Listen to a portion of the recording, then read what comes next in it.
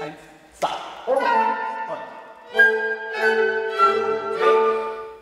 Also. Orpheus ist ein berühmter Sänger. Orpheus liebt Eurydike. Oder Eurydice. Dann, oje, oh wird Eurydike von der Schlange gebissen.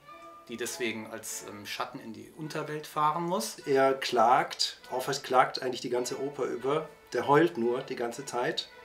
Und beschließt, in die Unterwelt zu gehen. Die Götter erweich, lassen sich erweichen und geben ihm die Gelegenheit, äh, sie aus der Unterwelt herauszuholen unter einer Bedingung. dass er eine Prüfung besteht, nämlich nie mit ihr spricht.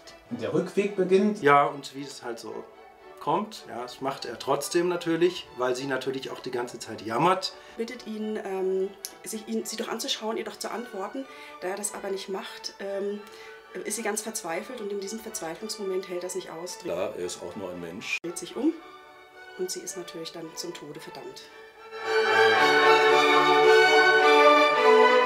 Zunächst unsere Grundidee ist, dass wir verschiedene Orpheus-Vertonungen nehmen, die wirklich in sich sehr verschieden sind und auch aus sehr verschiedenen Zeiten kommen. Und wir haben, und das ist das Besondere an unserer Inszenierung, zwei Schlussvarianten.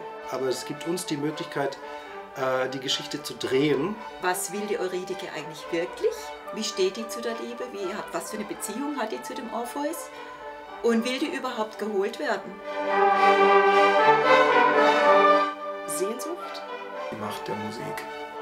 Spießigkeit, Treue, Um Emanzipation der Frau. um Befreiung, Bohem, Tragik, Verrat.